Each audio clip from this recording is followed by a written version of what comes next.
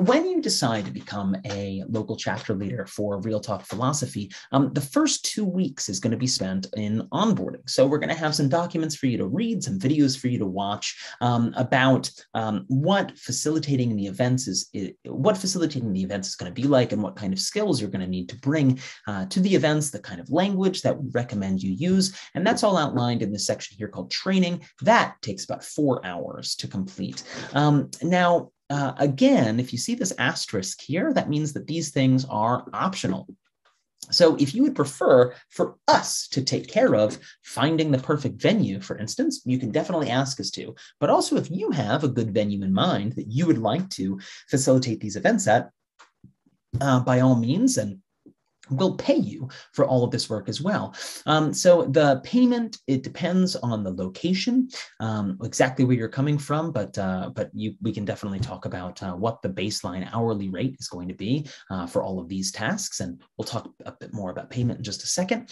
Um, and then uh, also we ask that you appoint a local co-host. Um, we have several different apps that we use, things like Slack and Trello, the Google Suite. Um, so we ask you to, to download those uh, and read a little bit about how to use those things effectively for our purposes.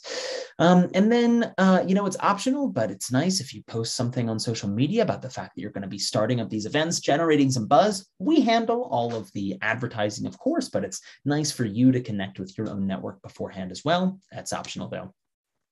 We also ask that all local chapter leaders host some kind of mock event that is uh, running all of the technical components, but without there being an audience, or at least just a very small audience of maybe your friends, to make sure that you have everything in place to be able to facilitate this event successfully.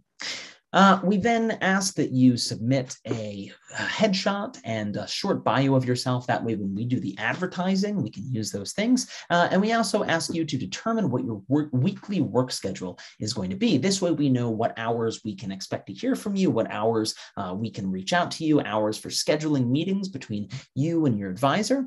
Uh, and then we're going to ask you to create your own calendar. Now, this is important. Local chapter leaders create their own calendar. You are not beholden to a calendar that's that's been created by us. So if you don't want to do a particular topic, let's say you're just not interested in exploring the the the, the arguments around antinatalism, whether or not we should have children, don't worry about it. You don't have to. Let's say you want to go on vacation one week. Fine, no problem. You set your own calendar. Um, and then there are uh, th- there is also some printing that might be involved in this printing out the game cards printing out certain announcements. So we ask that you identify a nearby print shop or that you have a printer or of course again because of this little asterisk here that means if you'd like us to do this instead we definitely can. You just won't receive payment for those hours. So that's up to 24 hours of paid onboarding